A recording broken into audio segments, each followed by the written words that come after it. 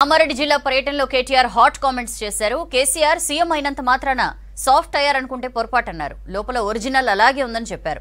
ఇటుకతో కొడితే రాయితో కొట్టే సత్తా పార్టీకుందన్నారు. సోషల్ మీడియాతో పాటు విపక్షాల నుంచి వచ్చే విమర్శలకు ఇకపై స్ట్రాంగ్ కౌంటర్లే ఉంటాయన్నారు కేటీఆర్. చేసే దుష్ప్రచారాన్ని తిప్పికొట్టడానికి వాట్సాప్లల్లా ఫేస్బుక్లల్లా సొల్లు పురాణాలు ఏవైతే వాళ్ళు చెప్తున్నారో వాటిని కూడా తిప్పికొట్టేందుకు మన తమ్ముళ్ళు ఇక్కడున్నోళ్ళు మన చెల్లెళ్ళు మీరు కూడా సిద్ధం పడాలి.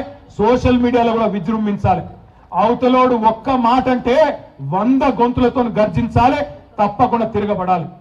గంప గోవర్ధన్ గారినో ప్రశాంత్ రెడ్డి గారినో మీ ఎంపీనో కేసీఆర్ గారినో అంటే ఆయన అన్నాడు కదా నాకేంద నువ్వుకోవద్దు ఎవరినన్నా టీఆర్ఎస్ కుటుంబం అరవై లక్షల కుటుంబ సభ్యుల్లో ఏ ఒక్కరిని ఏ ఒక్కడు అవతలోడు మాటన్నా మనందరం కూడా తిరగబడాలి వెయ్యి గొంతులతో గర్జించాలి. విడిచిపెట్టొద్దు. ప్రశాంత్ రెడ్డి గారు చెప్పినారు.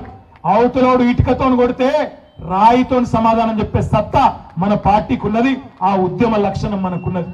చల్లబడ్డడం అనుకున్నారు కేసీఆర్ గాని లోపల ఒరిజినల్ గట్లే ఉన్నది ఏం మారలేదు. ఒరిజినల్ అట్లే ఉన్నది కేసీఆర్. నిన్న మొన్న మిత్రులు పంపుతున్నారు మెసేజ్లు. అన్న మళ్ళొక్కసారి ఉద్యమం నాటి కేసీఆర్ను చూసినట్టు అనిపించింది అన్న నిన్న మొన్న ఫ్రెండ్స్ పంపుతున్నారు. తప్పకుండా అవసరమైతే ఎంత దాకానన్నా కొట్లాడదాం? ముందుకు పోదాం.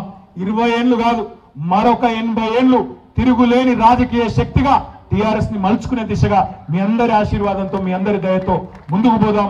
ప్రతి పేదవాడి ముఖంలో సంతోషం చూడడమే లక్ష్యంగా భారతదేశం మొత్తంలోనే కేసీఆర్ నాయకత్వంలో తెలంగాణను అగ్రశ్రేణి రాష్ట్రంగా నిలబెట్టడానికి ముందుకు పోదాం.